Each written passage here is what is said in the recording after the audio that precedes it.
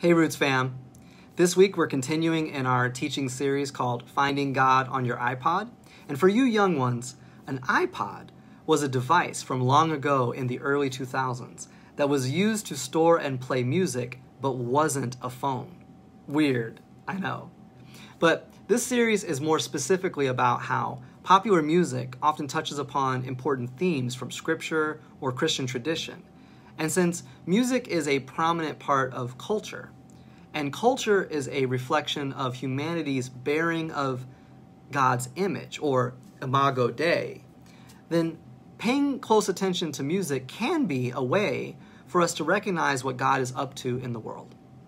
So this week, I'm going to shamelessly capitalize on the fact that the Broadway musical that's very popular, Hamilton, was recently recorded live and released as a film on the Disney Plus streaming service.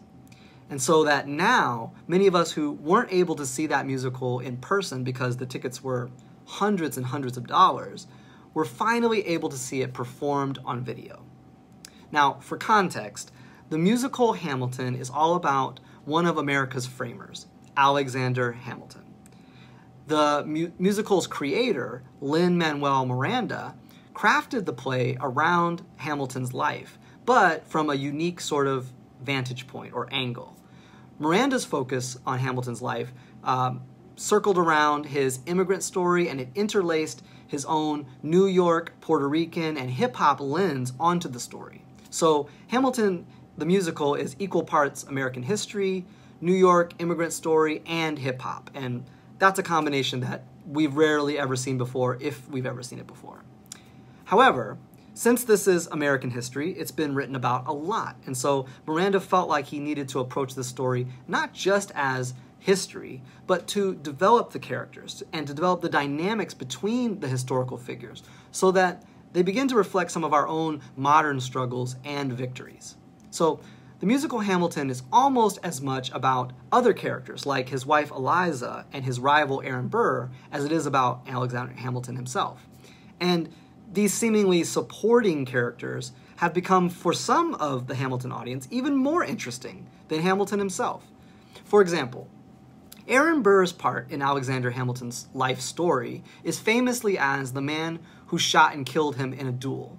Some of us are old enough to remember that, that Got Milk commercial where we first learned this fact, and we didn't learn it from a history textbook. but uh, the musical Hamilton uh, in it, we get a much deeper picture of who Aaron Burr was. We get to understand a little bit more of his motives or what he might have been thinking, what he might have been feeling. And a lot of times, the way that we get to know the inner feelings or thoughts of a character in a musical is through what's been called their I Want song. And this is a song that establishes for the audience what a main character is striving for. What is their goal? What is their quest? And often they what they have to do to achieve that. A famous example of an I Want song is Part of Your World from A Little Mermaid. Remember that? In which the main character, Ariel, expresses how she really wants to have legs and walk on land. Her I want was to be part of the surface world. Well, even though Burr is sort of like the villain of the Hamilton music, Aaron Burr has one of the most memorable and best written I Want songs of the entire performance. It's called Wait for It. So this morning, I'd like us to look a little bit closer at the message of this song, along with some aspects of the Apostle Paul's life from Scripture, to discuss the issues of jealousy, envy, our callings, and contentment. But before we crack open the song and the Scriptures, let's pray for the Holy Spirit's illumination. Would you pray with me? Holy Spirit, you are at work in our world and in our lives in many ways. Thank you for speaking to us through the scriptures, and thank you for reminding us of Jesus' teachings while we are listening to some of our favorite music. You are like the wind, Holy Spirit. You blow wherever you choose, and we welcome you to move us once again today. Specifically, we ask that you would shine your light of illumination and understanding upon the scriptures that we will hear today and help us to hear your voice, teaching us how to put their wisdom into practice. May God's word be like a seed planted deep within the soil of our collective hearts. May it take up root.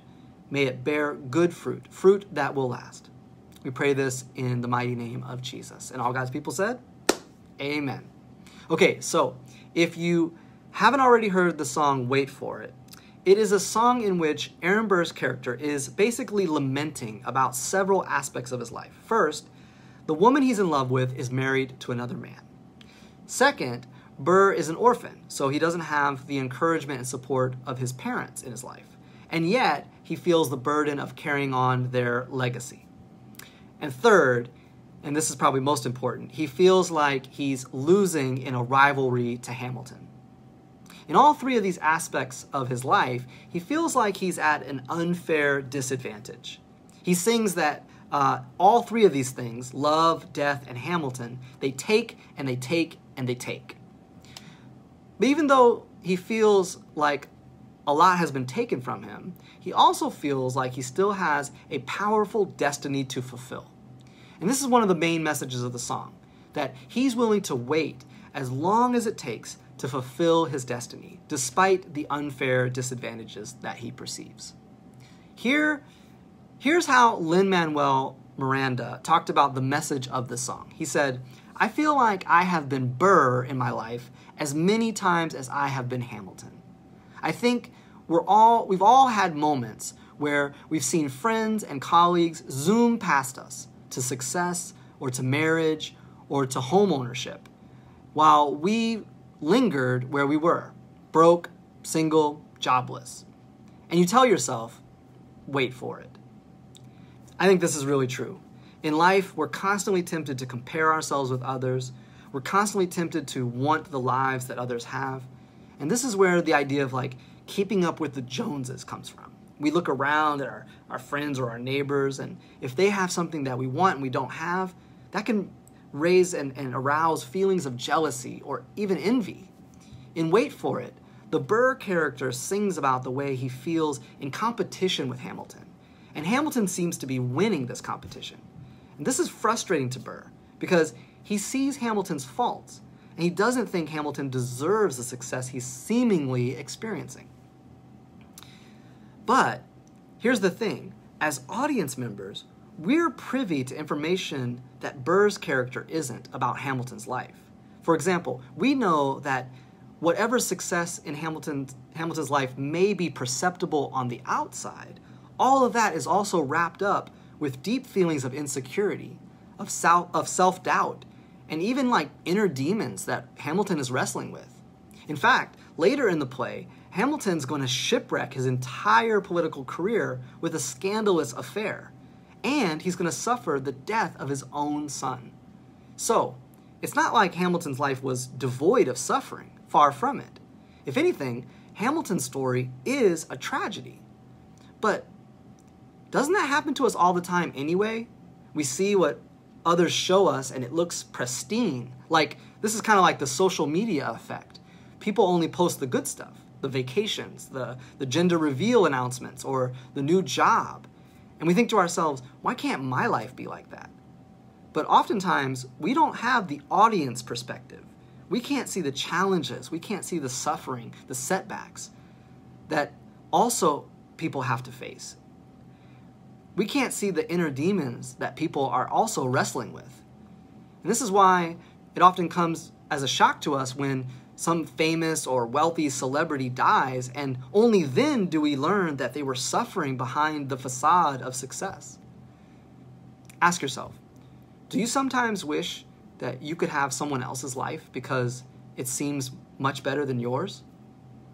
Do you ever feel like someone doesn't deserve the success that they seem to have because you can see their faults?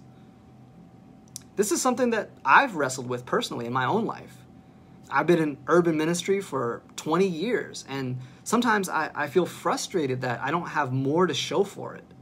Sometimes I lament that others who haven't served in urban ministry as long as I have or don't have as much experience as me, they seem to be more successful, at least on the outside, whatever successful means. For example, a lot of my friends have written books, and that's something that I thought I would have done by now but I haven't. Or when I was 17, I made this goal PhD by 33. Well, I'm 38 and I'm nowhere close. So I've often lamented that others have lives I want. But God has allowed me at times to see behind the scenes, to see the behind the curtain, so to speak. I've gotten to know people that seem very successful, and I've learned about their struggles, about their challenges, about their setbacks, and about the inner demons that they're wrestling with. And then I thank God I don't have their life. I wouldn't trade places with them if I could. For example, recently a famous couple that has charged thousands of dollars per ticket to attend their, their marriage seminars. They announced on social media that they were getting a divorce. And in the announcement, they said that their marriage had been falling apart for years. And what that means is that all the while, while they were selling expensive tickets and showing the world what a successful marriage looked like, behind the scenes, they were actually really struggling. And some of the people who bought those really expensive tickets, they wished that they had their life. They wished that they had their kind of marriage. Because what they didn't know was the, all the things that were going on behind the scenes. So, in our lives, we're often tempted to compare ourselves with the image that others portray. We're tempted to measure ourselves against someone's public persona without knowing the real story. And this reminds me of an often overlooked aspect of the Apostle Paul's ministry. We're pretty familiar with his public persona. We know the story of Christ appearing to him on the road to Damascus and calling him to be an apostle to the Gentiles. We know that story. And we're pretty familiar with his missionary journeys too, that he traveled all around the Mediterranean world, um, where he helped to establish many communities of Jesus' disciples. But an over an often overlooked aspect of Paul's ministry was that he was constantly second guessed, constantly criticized, even denounced. Many times we read in his letters, we, we can even see evidence that other leaders in the early church sought to discredit him. Sometimes they preached against his teachings. Sometimes they openly questioned his qualifications. And I remember as a new disciple of Jesus, when I had just begun reading the Bible and I was reading Paul's letters for the first time, one of the questions that I was constantly asking myself was why did Paul spend so much time giving us his resume? Why did he spend so much time listing his accomplishments or all the ways that he had suffered for the gospel? It seemed out of place. Why did he do all that? Well, the answer is that Paul had his own Hamiltons. Paul often felt like the Burr in his own life. He would work hard and plant a church, and along would come, some, come someone else who would say, Paul's not a real apostle. Or they'd preach a different gospel to the church than the one that Paul had preached. And so many of Paul's letters were written in part to defend his apostolic authority and, and the authenticity of the gospel that he preached. Imagine how he must have felt. He must have felt frustrated, like Burr sometimes. He must have been asking himself, why is it that I've done all this work, and yet some people still question whether I should even have a ministry at all? He must have felt frustrated when other apostles in the church were treated better than him because they were more gifted in some area or another. Uh, one of the places that we can see this really clearly is in 2 Corinthians chapters 10 and 11. In fact, at one point, Paul even gives a nickname to his rivals, the ones who are questioning his credentials. He mockingly calls them super apostles. These folks have obviously set themselves up as superior to Paul in some ways. At one point, Paul mentions that he may not be a trained speaker, but he does have knowledge. So, rhetoric and public speaking may have been one of those areas where these folks thought they were superior to Paul. But in the midst of these two chapters of Paul defending himself and giving all his credentials, he says something that I have had to remind myself of many times. And I want to commend these two verses to you also. 2 Corinthians chapter 10, uh, verses 12 and 13. They read like this We do not dare classify or compare ourselves with some who commend themselves. when they measure themselves by themselves and compare themselves with themselves, they are not wise. We, however, will not boast beyond proper limits, but we'll confine our boasting to the field God has assigned us to, a field that reaches even to you. Now, the way I read this is Paul is saying that those like the super apostles who think that they are better than Paul are measuring themselves against other people like Paul instead of measuring themselves against their callings from God. Paul says that our callings is like an assignment. And that's our temptation. We are tempted to measure ourselves and our lives against others and their lives instead of measuring ourselves against our God given assignments. God has given each one of us our own unique calling or assignment. And that's what we're accountable to God for, not someone else's, only ours. So instead of comparing ourselves against someone else and the assignment they have, we should keep our eyes fixed on what God has called us to do. This is what Paul compares to a field. Each of us have a field to which we've been called. Ask yourself, what is your field? Is your field to fight against human trafficking? That's wonderful. Is your field to raise a family? That's great. Is your field singleness? That's great. Whatever your field is, there will come a time when you will notice that the grass is looking a little bit greener on someone else's field. This happens to all of us. We think it would be so wonderful to be rich. And then you get to know a rich person and you realize how plagued they are by their own inner demons or other problems. Or single people think that it'd be so wonderful to be married. And then they get to know some married couples who tell them it's not always so easy. And there are thousands of things like this where we compare ourselves with ourselves and measure ourselves against ourselves instead of measuring ourselves against our assignments and our field. Sisters and brothers, God has given each one of us a unique assignment and a unique field. And the world needs each one of those assignments. And each one of us needs to be faithful to those assignments. Faithfulness is our assignment. We each have a part to play. In another letter uh, to the Corinthian church, Paul wrote, Brothers and sisters, I could not address you as people who live by the Spirit, but as people who are still worldly, mere infants in Christ. I gave you milk, not solid food, for you were not ready for it. Instead, indeed, you are still not ready. You are still worldly. For since there is jealousy and quarreling among you, are you not worldly?